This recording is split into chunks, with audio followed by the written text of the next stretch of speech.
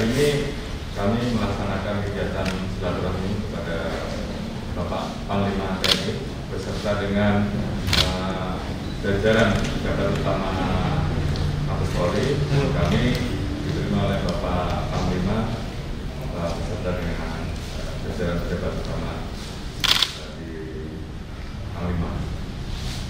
Dalam kesempatan ini uh, tujuan kami melaksanakan silaturahmi adalah untuk terus meningkatkan sinergitas dan soliditas yang selama ini sudah dilaksanakan oleh pendahulu-pendahulu saya di zaman Bapak Panglima yaitu Bapak Tito Karnavian selaku Kapolri pada saat itu dan dilanjutkan oleh Bapak Ida. Oleh karena itu tentunya kewajiban saya selaku Kapolri yang baru untuk terus e, menjaga dan bahkan meningkatkan sinergitas dan soliditas yang telah kami laksanakan. Karena memang uh, banyak sekali kegiatan-kegiatan penugasan maupun kerjasama dalam hal pemeliharaan kampus yang selama ini telah kita laksanakan. Termasuk tentunya uh, menghadapi masalah-masalah yang saat ini sedang kita hadapi di mana TNI,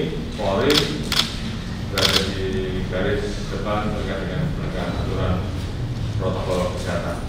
Kemudian beberapa kegiatan seperti di Poso, di Papua, kegiatan-kegiatan yang terkait dengan masalah penanganan bencana alam itu pun uh, sinergi TNI dan Polri sebagai representasi negara yang selalu harus hadir uh, selama ini berjalan dengan aman sangat baik. Oleh karena itu dalam kesempatan ini uh, kami terus berkomitmen agar sinergitas dan soliditas TNI Polri uh, terus akan menjadi lebih baik, lebih solid sehingga masyarakat betul-betul merasakan kehadiran TNI Polri di lapangan dalam rangka memberikan rasa aman, dalam rangka memberikan memelihara harga emas dan memberikan stabilitas kamtimas yang betul-betul dirasakan sehingga iklim pertumbuhan ekonomi, iklim investasi dan penegakan aturan terkait dengan masalah protokol kesehatan betul-betul bisa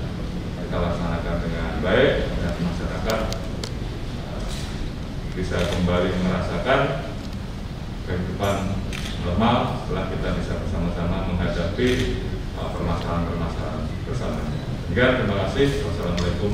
Jenderal Polisi Istio Sigit yang pagi hari ini didampingi oleh pejabat utama Mabes Polri e, bersilaturahmi dengan saya dan saya juga didampingi oleh pejabat Mabes TNI.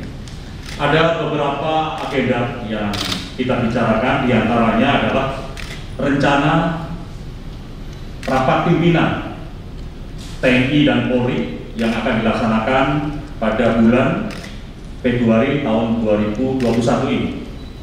Kemudian dalam konteks tugas, TNI senantiasa mendukung terlaksananya penegakan hukum yang dilaksanakan oleh Polri demi terciptanya keamanan dan ketertiban masyarakat wilayah Indonesia